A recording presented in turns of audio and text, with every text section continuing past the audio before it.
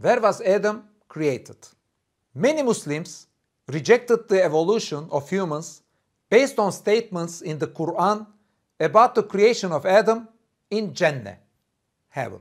They say that Adam descended to earth from Jannah, not through an earthly biological process. However, in the Quran, Jannah can mean both heaven, the gardens where the righteous will stay after death, and literally the gardens of this earth. The following verses are examples of the latter use. Suratul Kahf, verse 32. Set forth to them the parable of two men. For one of them we provided two gardens, Jannah, of grapes and surrounded them with date palms.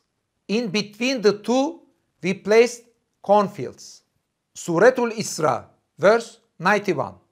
Or thou have a garden, Jannah, of date palms and grapes. Suratul Kalam, verse 17.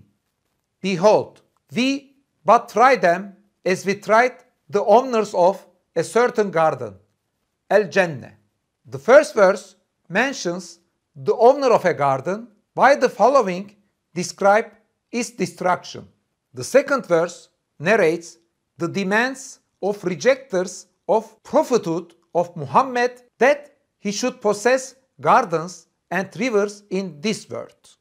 Lastly, the owners of the garden in the third verse also lived in this world. The Arabic definite article el used before Jannah in the third verse can refer to a specific garden on the earth.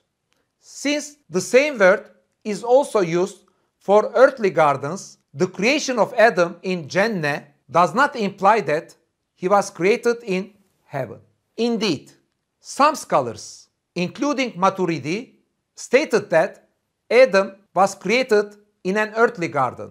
An important argument for Adam's creation in a earthly garden is the statement in Suratul Baqarah, verse 30, that he was appointed Khalifa, inheritor on the earth. In Suratul Sad, the appointment of David as a viceroy on the earth is described with the same word. Since Adam is appointed Khalifa on the earth, his domain of responsibility is there. As a result, it is preferable to think that Adam was created on the earth, not on another dimension and teleported down to earth. All humans are created from the raw materials of clay, which likewise make up the earth.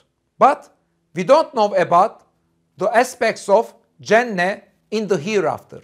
If the raw materials that constitute humans, including the first one, also constitute the earth, it is reasonable to assume that humans were created on earth. The Quran does not record this bizarre chain of events.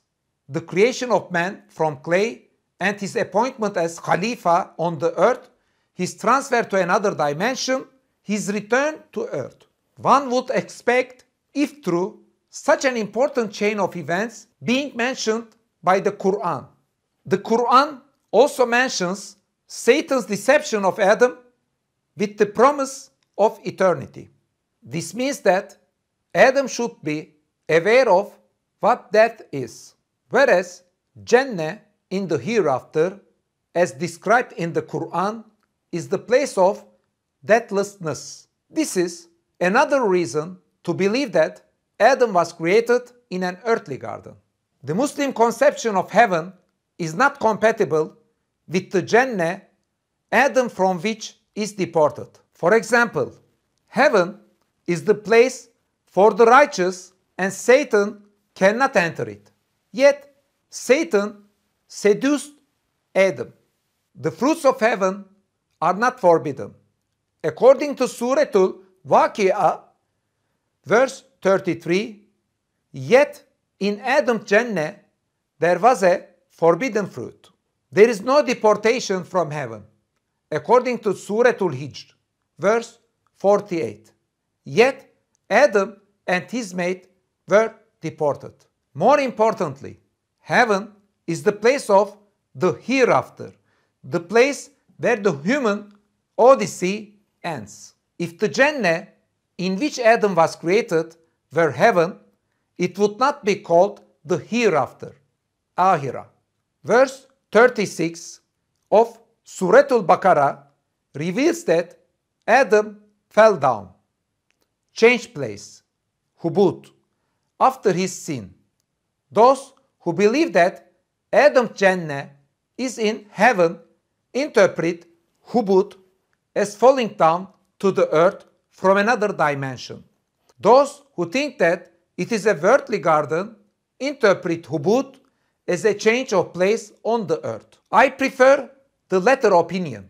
Indeed, hubut is also used for Noah and his followers to describe their disembarking of the ark, their change of place on earth. Hubut also describes Moses and his followers' migration to a city.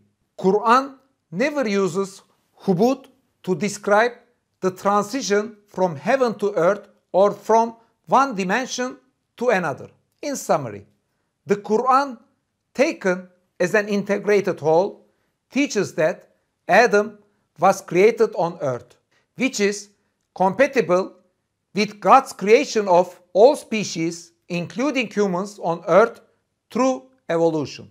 Indeed, the creation of Adam on the earth is supported by the Quran irrespective of evolution, as argued by some Quranic exegesis scholars who live centuries before Darwin.